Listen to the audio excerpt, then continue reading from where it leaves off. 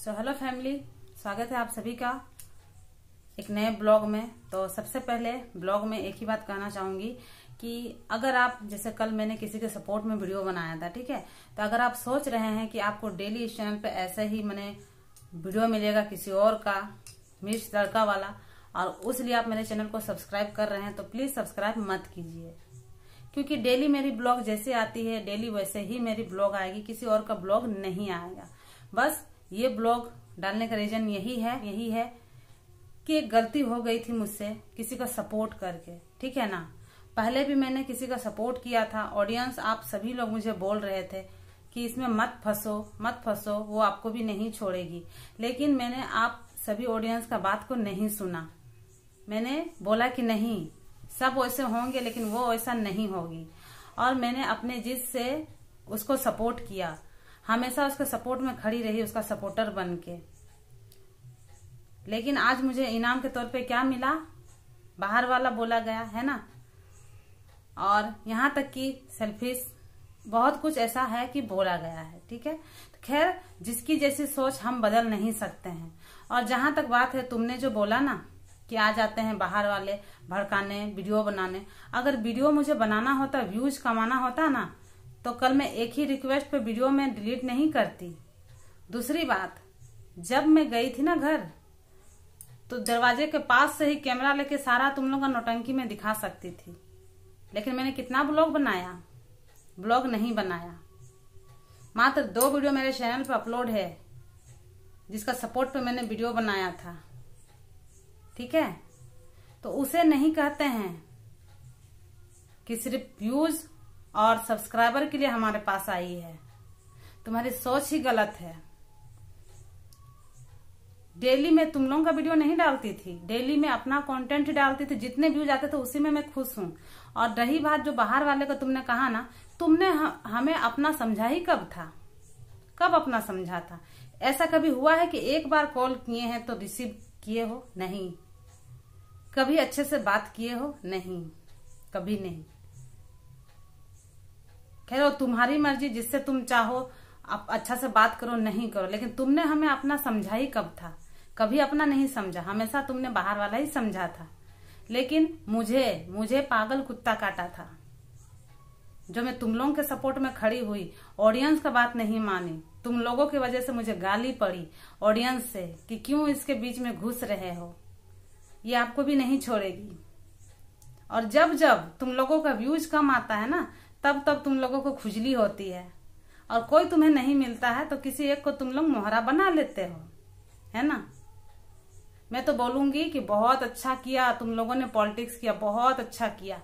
इससे किसी को ना सही, लेकिन मुझे तुम लोगों का जो असली चेहरा था ना, वो दिख गया। जो मैं तुम लोगों के बारे सोचती थी ना, इतनी अच्छी अच्छी कि हाँ जो जो बोले, जाने दो। ये, वो लोग हो सकते, ये ऐसा नहीं है। वो तुम लोगों ने साबित कर दिया। तो तो बहुत अच्छा बात हुआ, बहुत अच्छा बात हुआ कि सारा सच अपने आँखों से मैंने देखा, सारा कुछ सुना, ठीक है? वो चीज़ है। और जहाँ तक तुम लोग बात करते हो ना, घर की बात घर में ड्रामा कौन मचा रहा है? हम ड्रामा नहीं मचा रहे हैं। ड्रामा तुम लोग दिखा रहे हो। तुम लोग सोशल मीडिया में उछाल रहे हो खुद के घर की बात को। और कौन किसको धोखा दे रहा है, वो तो सब मालूम चलेगा तुमको। एक कहते हैं ना, समय आने से सब मालूम चलता है, बस वही बात है। ठीक है, आज हम तुम लोगों के लिए बुरे हो गए। कोई बात नहीं, मुझे इसमें कोई भी दिक्कत नहीं है, बल्कि खुशी हुई मुझे कि चलो अच्छा हुआ। तुम लोगों के ज़रिए ही सही। सारा असलियत मेरे सामने आया, सारा कुछ जो मेरा आँखों पे पट्टी बंधा हुआ था। मेरे फैमिली वालों ने भी मुझे कहा था, लेकिन मैंने उनका भी बात नहीं सुना और तुम लोगों का सपोर्ट में मैं खड़ी हुई। तो मेरे आँखों पे जो एक पट्टी बंधा हुआ था ना, वो खुल गया है। तो बहुत अच्छा बात हुआ, बहुत बहुत थैंक यू तुम लोगों ने इतना अच्छा पॉलिटिक्स किया और मैं तो कहूँगी, जब जब व्यूज़ कम आए ना, तब तब ऐसा तुम लोग पॉलिटिक्स करो। किसी को शिकार बनाओ वही चीज़ है। तो मेरे जितने भी ऑडियंस है, मैं सभी से बस सॉरी कहना चाहती हूँ कि आप लोगों की बात को मैं नहीं सुनी। आप लोगों ने कहा था, इन सब मामलों में आप मत पड़िए, इनके बीच में मत घुसिए। लेकिन मैं घुसी, वो मेरी सबसे बड़ी गलती थी। तो मैं आप सभी ऑडियंस से माफ़ी मांगती हूँ कि आप लोग जो बोलते हो, सही बोलते हो। आज से किसी का सपोर्ट में नहीं खड़ा होंगी बाकी आप लोग सारे ऑडियंस देख रहे हो। कि घर के बात को कौन पब्लिक मतलब कौन सोशल मीडिया में ला रहा है। मैंने अपने अपने चैनल में कभी भी कुछ नहीं बोला है और कभी बुराई नहीं किया है। कभी आप लोगों ने मेरे मुँह से गाली सुना है? कभी मैंने किसी को नहीं बोला है? कुछ गलत नहीं बोला है। जो गलत बोल रहा है, उसको भी हमेशा इज़्ज़त से मैंने बात किया है। और आज मैं बुरी हो गई। मुझे बोल रहे हैं कि व्यूज़ सब्सक्राइबर के लिए अपना असली चेहरा दिखाएँ। अरे, जो लोग बोल रहे हैं ना कि बहुतों का असली चेहरा दिखा, पहले खुद का असली चेहरा तुम लोग देखो आईने पे, तब पता चलेगा कि तुम लोग क्या चीज़ हो।